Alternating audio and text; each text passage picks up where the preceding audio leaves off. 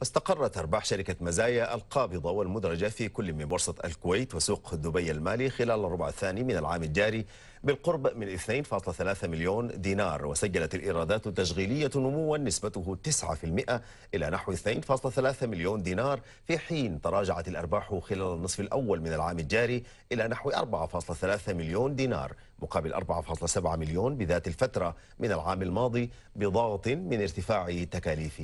التمويل. أيضا مشاهدينا ارتفعت أرباح شركة